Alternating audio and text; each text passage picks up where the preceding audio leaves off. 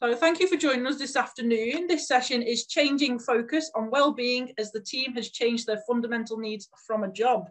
The evolution of Magic, Magicare's well-being strategy pre-pandemic, during the pandemic, and then now in the future. So we've got Angela Boxall, CEO, COO of Magic, Majesticare, and Caren Burton, Head of Innovation and Happiness at Majesticare. That sounds a fantastic job. Over to you both. Thanks, Jade. Very happy, aren't you, Caren? Yeah. a very happy Caren. Uh, welcome, everybody. Um, so, obviously, today is the Wellbeing Festival for uh, the Institute of Health and Social Care Management. So, um, we looked at it and thought who better than sort of Caren, who's our head of people, um, who does a fantastic job with um, our wellbeing strategy, um, to share how we completely appreciate how difficult it is and how it's evolved, um, as Jade said um, pre-pandemic to now. Um, so Caren, I'll hand over to you. Um, yeah, so um, this is really um, a presentation about our journey so far. Um, our wellbeing strategy is continuing to evolve, so it's always a work in pro progress. So from where we've started this from, it's probably about 2017, 2018, where we've started to put a real focus back on the strategy. So uh, that's where the presentation begins from as well. So we didn't start our strategy, uh, we didn't just pluck it from thin air. We did lots of research. We looked at lots of stats from social media job boards. We got lots of um, our own stats from our current employees and employees that are no longer with us. And uh, we did lots of surveys and focus group and got some qualitative feedback as well from our team. And what we found was staff retention was low. Um, it was low, but it was in line with the rest of the industry. But obviously, we wanted to improve this. Those most likely to leave employment were millennials under the age of 35. And when they did leave employment, it was likely to be within the first year and a significant amount, amount of leavers listed lack of recognition as their reason for leaving. I think at that time our average age was about 47 yeah. for, for employers. And, and the older the older the employees were when they started with us, the more likely they were stay were likely to stay yeah, for longer as well. That, so we're yeah. obviously missing something in our offering to to our younger employees. So we had a look at the secondary research, which told us to improve our retention, we needed to look at values, progression, and engagement, which me being me didn't believe. So I did our own research on our uh, own majestic Majesticare team, and lo and behold, they were right. So 0% of leavers stated that a better pay was a motivation for leaving.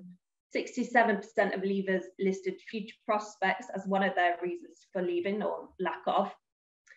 44% of leavers said the training they received was poor, and 24% of current employees said they were not involved with the running of the homes. So then we believed them, didn't we? So we, we started to do some work on our values. Um, the team that we'd got really wanted to work hard and were working hard, but only for an organisation that matched their own values. Um, and we found this um, did did come a lot more from our younger sort of millennial um, and and further generation. Um, so our team also wanted to work in an environment where they had mates at work, so they got to know their co-workers um, and they could build that stronger bond. I mean, we're at, we're at work more than anything else, so obviously people need that social interaction at work as well. So we created our Majesticare values. They look very pretty. um, so again, they weren't plucked out of thin air.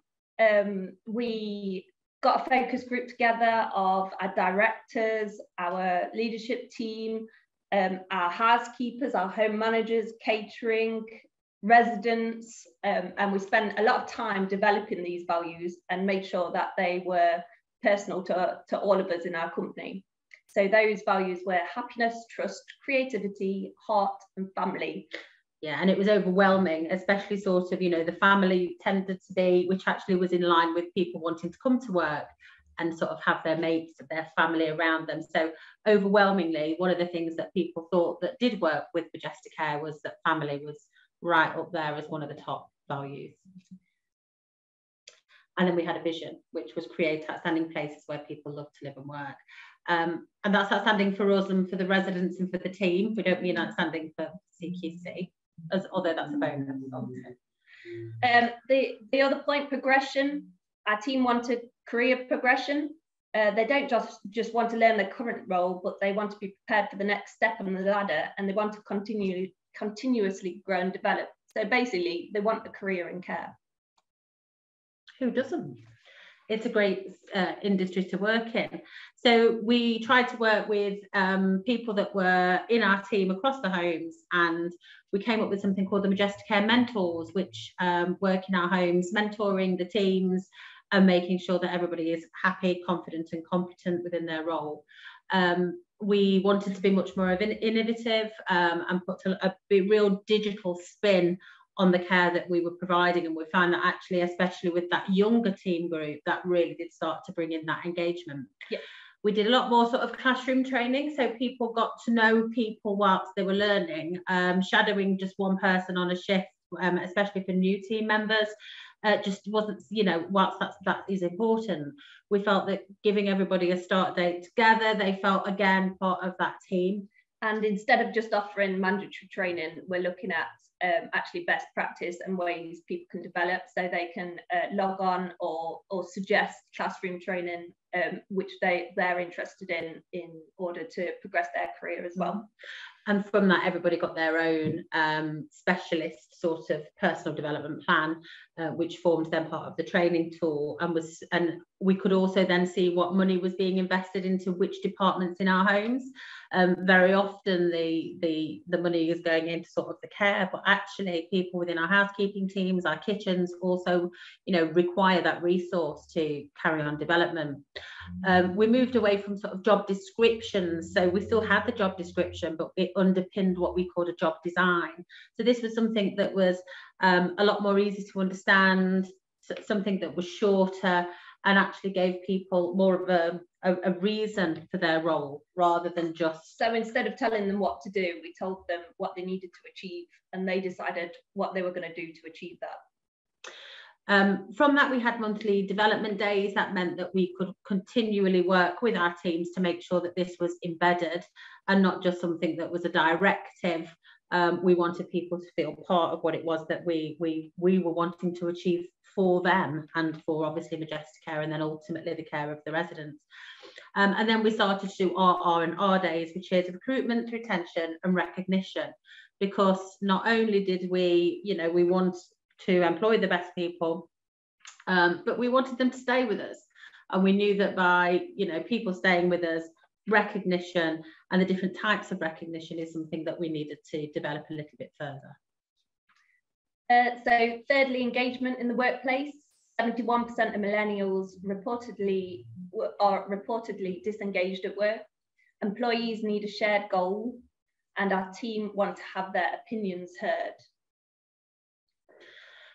So we started to make a start, but in true sort of we we like to do things a little bit different, and we feel that you know put a bit of colour in um, and a Majesticare care bear um, all of a sudden people started to have a little bit of fun at work and started to focus on our happiness value as well.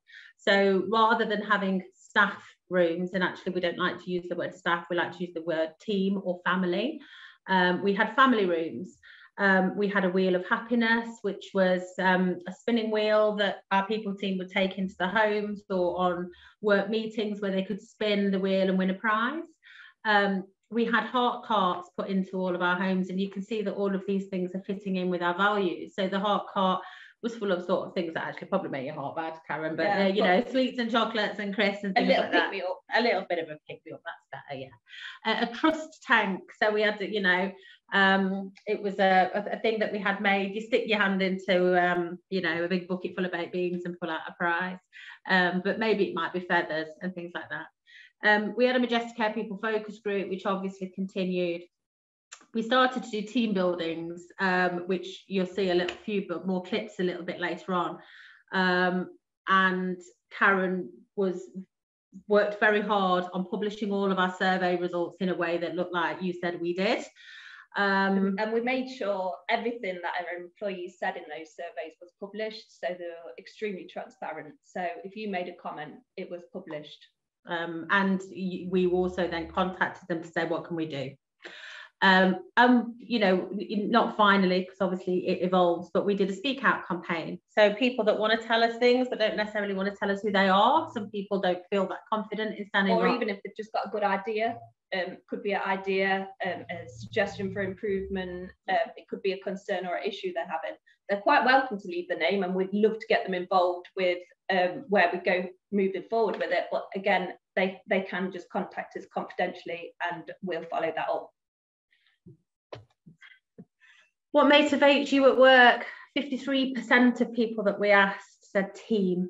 Um, I think that sort of says it all. There's some of our Majesticare team in the background there.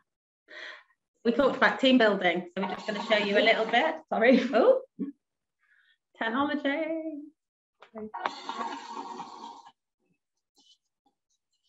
So we've done um, lots of different team building events so far. We've gone to the seaside, We've done uh, human table football, murder mysteries, um, our famous Michael Jackson's thriller recreation as well. We then had to think a little bit differently for team building during COVID. So we did 24 hour live raffles on Facebook. Um, we've done inter-team um, competitions, um, company quizzes and things like that. So even during the pandemic, even though things have been slightly different, we've still tried to build that team and make people feel part of something special. And what we were finding was um, it was really developing the trust in our teams. Not only were we getting feedback on these team building sessions, but we were, we were also found that the leaders in our group were more approachable um, outside of the team building as well. Suddenly, everybody realised everybody is human, mm-hmm. um, and, and and we don't have a hierarchy there. It's it's people could just come and contact you with ideas. So, what did our employees say? Um, I love the honesty on this one. Um, way back in 2012, when I started with Majesticare, it was chaos. It does, it does get better. Don't switch off there, for God's sake. Uh, no teamwork, no delegation. Most of us employees were totally stressed. Now is much better. I don't seem to have any problem at all. I come to work with peace of mind because we all work as a team. I'm so proud to be a member of the Majesticare team and I take pride in my work. Our team is dedicated and we strive to meet Majesticare values and provide residents with high standards of care. So all the way through that, you can see is the word team. Uh, so we asked um, what could we do to improve our, uh, our employment offer. Um, recognition featured in 47% um, of our current um, employee value survey and 66% of leavers rated recognition in the company as poor. Uh, this mirrored what Reward Gateway stats said of 60% of employees would rather work for a company having a recognition culture than a company we, where they've paid 10% more we started to focus much more on our recognition and rewards. Um, and there's just a few little pictures here. So um, we've got a lady down here called Chrissy who um, was nominated and won, was it our employee of the year, team member of the year, something? Yeah, um, the person that had gone above and beyond. Um, and she actually won a holiday to Jamaica um, and got to take one of her colleagues with her. Um, well, she chose to take one of her colleagues. Yeah, her, so, she? yeah, she could have taken anybody, but she chose one of her team teammates, which we thought was amazing. And then Thelma, um, who is um, she got our Above and Beyond award that year. Um, and won a seat at the table with her teammates to the care sector fundraising ball at the Grosvenor Hotel in London. Um, so we also uh, developed a platform where um, our colleagues could recognise each other as well. So there was um, a base for peer-to-peer recognition, and these were these e-cards are based on our values as well.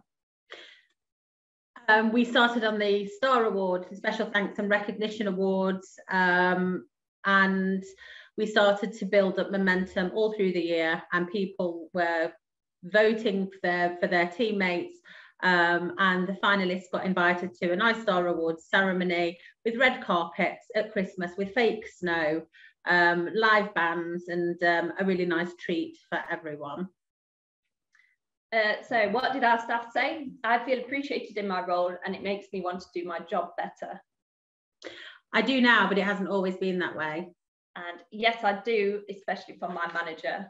So you can see we were starting to get there. The recognition was paying off no longer were people saying they didn't feel appreciated. Uh, and then the COVID 2020, then what happened? Because everybody's motivation and priorities completely changed. So our teams were worried about their physical well-being and the threat of the deadly virus. Our teams were worried for the health of the of residents and stressed about the responsibility they now suddenly had to ensure our residents remained safe. And some of some of our teams were isolated from their workplace and left completely alone. So how could we respond to these changing needs of our team? How could we mitigate the risk of catching coronavirus? Um, how could we recognise the efforts of our team when many of the time we were virtually, you know, virtually talking to them or so far away? How can we ensure our team's mental health was being looked after? That was something that we were really concerned about. And how can we make sure that our teams didn't feel isolated and that they felt positive members of the Majesticare family? So our, our company actually moved very fast in ensuring we have we had plenty of PPE um, and our policies were and procedures were as up to date as they possibly could be, which I think um, gave our team a lot of confidence in what we were doing and gave us the time to concentrate on some other areas as well.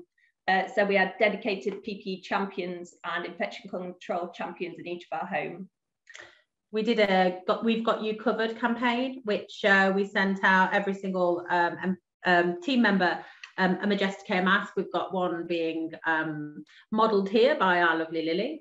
Um, so that was We've Got You Covered campaign. And we've also sent them out for, for our team members to share with their families. Uh, we suddenly had minibuses that weren't being used because we could no longer take the residents out on trips. So uh, we converted these um, and utilised them as free dedicated travel to work so people could get to work safely without using public transport. Uh, we worked on a stop smoking campaign to support those team members that really wanted to give up smoking and give their health um, and well-being the best possible chance against the, um, the deadly virus of um, COVID-19. So that was sponsored direct personally by our directors as well. So um, anybody that wanted to stop smoking to improve their health, um, if they got some sponsorship, our directors would match that um, and donate it to a, a, good cause of their choice.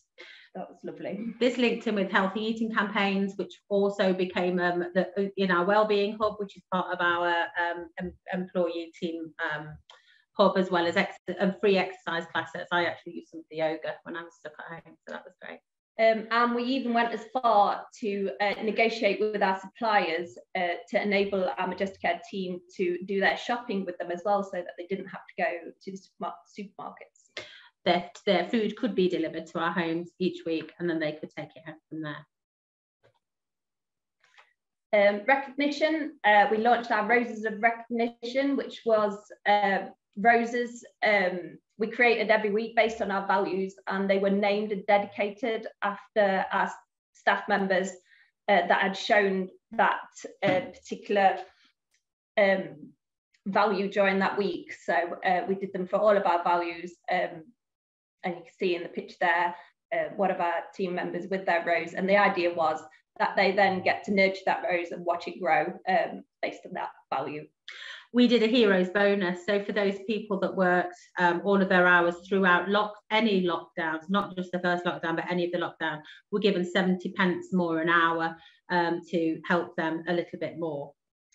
Um, thank you cards, uh, thank you videos and thank you messages. Um, handwritten cards were sent from the directors uh, and we had uh, videos from the directors, from the leadership team and uh, also from our suppliers as well uh, random acts of kindness. So just a pizza turning up on a Friday night seems to make a huge difference, um, you know, especially for the night teams who sometimes were a little bit forgotten. Um, wider recognition as well, we made sure that our uh, Majesticare team were nominated for industry awards. Uh, we've got a picture of Danny Whitehouse down there at the bottom who won Care of the Year at the National Care Awards. we teamed up with Missguided, the um, fashion brand, um, and they sent us lots of um, sweetie treats in. Um, and you can see Jackie there with um, a huge amount. I hope, I hope she didn't eat them all herself. Um, and you can see um, a couple of our team up there modelling a special Missguided t-shirt that they designed especially for Majesticare and our team. Um, one of our team members also um, designed the International Nurses Day, um, and you can see that they drew that all themselves. Um, we had a big focus on well-being, so we developed well-being action plans, which were uh, we trained all our leaders on uh, so that they could help support members of our team. Uh, there was plenty of signposting around um, to, to help um, health sites and, and organisations and charities. Uh, these were launched um, as posters over social media. Uh, they were added to all our, our keep in touch cards. Um, and we also had mental health first aiders in each of our homes. Uh, we developed our developed and launched our wellbeing centre, which had things like positivity talks, um, tips to help you sleep, and uh, meditation on there. Um, and you can see there one of the drawings done by one of our carers and a resident, which just states that we're we're all in this together, and that was the the general feeling we had um, on looking after each other's mental well-being as well. Uh, but we also focused a lot on the our Majestic kids, um, our teammates, um, children, as well as our own children, um, and made sure that we did lots and lots of things that involved them as well and made them feel part of the Majesticare family. This was the Pokemon competition, is that right? So we did we did the colouring competition, Pokemon competition, and we also did the Majesticare Super League uh, of superheroes, where uh, the kids sent us in videos of um, them showing their superpowers and their new Majesticare greeting as well. We couldn't shake hands, but Zach uh, did a great woolly handshake. Woolly high five. I think, a woolly high five. We wanted to promote a holistic approach to wellness as well, and our teams, and wherever possible, we wanted to look after each other. Um, um, we felt that not only did that make sure that everybody had somebody to talk to, but actually it brought everybody closer together. So the e-cards um, were mainly then now going from colleague to colleague to say, you know what, you were a star today. Thank you so much. I think it's unsustainable to have uh, just a few people in your organisation that are responsible for well-being. I think the only sustainable approach is um, just to encourage and educate people to to everybody to to yeah. look after each other and themselves. Uh, when people did have to go into isolation, we made sure, because back, back then it was a lot longer than it is now, especially the way it's going to be at the end of Feb by the looks of it. Um, so, you know, we would send the stay safe card, welcome back, we've missed you card, um, and just sort of saying to people, you know, take care of yourself. Thanks for the hard work, rest up and keep safe. Um, and it looked work. 97% of our staff felt positive about their role and importance of a key as a key worker. 95% of staff felt supported with their well-being from Majesticare and 90% of staff felt valued by Majesticare and 100% felt valued by their colleagues. So great results. And then the clapping stopped, I suppose. The public recognition lost its momentum. The wider industry reopened, offering attractive packages to tempt our team away from us. Yeah, thank you, Amazon. yeah. Hospitality, obviously, as well. Vaccinations became a requirement for those working in social care. And our team were classed as low skilled workforce again. And that was obviously as defined by the low skills in our government immigration bill. Government. um, obviously, we all had a bit of a lack of social interaction, which obviously has an impact there were obviously huge staffing crises across the industry and everybody was exhausted. You know they'd worked through the the pandemic. There was there was really big staff burnout. Um, so this was reflect reflected in our team survey results. 20% of our team were not positive about their future um, or their role and 30, 36% were unsure. 44% of our team felt more stressed as a result of the pressures of covid. 74% of team still felt valued in the work. 86% felt valued by their colleagues, but uh, these are high, but obviously they've, they've dropped from uh, where we were at before. And only 59% of our team felt positive about their role, their importance as a key worker. That's a drop of 38% mm, within a year. That's just so sad after everything that they've done. So what next? You know, we continue to improve our mental, physical, and financial well-being offering to all of our team and Majesticare family we are trying so hard to put the focus back in the social well-being. We're bringing back our team building and social events, obviously very COVID safe, risk assessed, and obviously keeping an eye on what's happening, you know, across the, the industry and, and across the UK, and promote the care sector and social care industry as a skilled workforce. So, you know, not only are we wanting to recognise our own team members, our own Majesticare family, but actually, you know, we need to be recognising every every social care worker, you know, 1.6 million of them. Uh, so we're, we're focusing back on our mental well-being. Uh, we've got more mental health first aiders in our homes and we've now uh, started training um, advanced mental health first aid practitioners as well. We've got promotion of our employee assistance program, which gives all of our employees and team members and family um, a chance to have free counselling. Um, we've got Wellbeing Wednesday, where we have a fo different focus every week on a, a new wellbeing initiative. And focus on peer-to-peer recognition, because as you could see from earlier results, that was what was really making the difference. Uh, with our physical well-being, uh, we're still sending out our care packages. Our most recent ones went to our night staff for no other reason than I can't think, personally, I can't think of anything worse than having to get up on a very, very cold, dark night and uh, de-ice my car and uh, ready for get out my pajamas. yeah. so what we did was we sent uh, de-icer and ice scrapers, ready brek, coffee, hot chocolate, hand warmers in care packages to all our night staff.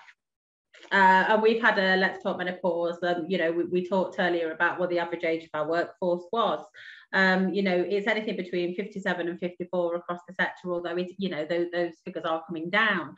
Um, but obviously menopause is, is quite um, a focus for many people and it is, you know, is, is definitely something that we need to make sure that we're talking about and, and actually making sure that we're meeting people's needs if they need it. Um, financial well-being, we've recently launched our Majesticare More bonus where people got um, a bonus for working their contracted hours um, and for working any extra shifts as well. They also got bonus um, if they showed us proof of their vaccinations in a timely manner as well. And Care Friends, so we work with Care Friends and Neil Eastwood, where it's an employee referral system, uh, which has had a huge impact not only on bringing in new team members, but actually it's a great way of current employees and team members earning more money. Um, so, you know, when we needed a little bit of a boost, we'd do Care Friends double points. Um, social well-being uh, we want more digital digital social interaction. Uh, we don't want uh, where somebody is in the country to be a barrier to um, being social with with our other homes. So uh, we want all our homes and teams to interact together. We want to start the plan team builders again as i said earlier covid safely. Um, and get back to meeting our teams again because we missed them. Care friends we're going to keep using that employee referral is a great way of bringing in new team members and people often then are already friends before they start working together. And i think it's it's with care friends you're you're attracting um, because we recruit by values um, those people are then going to be associated by people with the mm. same values. Um, so it's a great way of getting people in that are going to fit into our team and, and create that better social environment. And talk care talk care is a new app um, you can download it on Apple or Android. Um, and it's an app that's for people that work in the sector um, to talk to other people and network with other people that work in the sector. Sometimes it helps just to know that other people are going through the same thing. And the great thing about Talk Care is it's not a moaning platform, it's actually a, a platform to learn and grow and support. So we wanted to look at uh, playing our part in improving the social care sector. So we are founding patrons of Championing Social Care, which is an organisation that works with people that live and work in social care to make sure that we do just that. We champion all the good news stories and we raise awareness of the amazing things that people that live and work in social care do every single day. Um, Purple Tuesday, uh, we want to support those in our workplaces who have health conditions or impairments to enable them to reach their potential. So uh, we want to level the playing field um, between all of our team and make sure they've all got the same opportunities to achieve. But mm-hmm. moreover, we want to attract those people that may have um, an impairment um, to our industry and get them into work with us with our support. Uh, Talk Care I've already talked about, but that is something then that we were starting to set up our own groups within Talk Care. So we had um, an activities team group, a managers group, a chefs group. So again, we could make sure that not only were people networking, but networking with like-minded people in the doing the same job every day. And we've recently signed up to be a mindful employer. Um, so this this charter means we commit to provide non-judgmental and proactive support to our team members experiencing mental ill health. And that's near enough it. We've got a little video to show you at the end, just to show you um, some of the recognition that we did um, throughout um, the, the pandemic. So, you know, recognition and team building doesn't have to just be done in person. So hopefully you'll be able to get a few ideas from, from the video. And thank you very much for listening to us today. Thank you. Thank you very much. Thank you, Jade. Thank you, Caren. Thank you, Angela. That Majesticare looks a fabulous place to work. No wonder your staff feel so valued now and are really enthusiastic about going to work. Thank you so much for your time.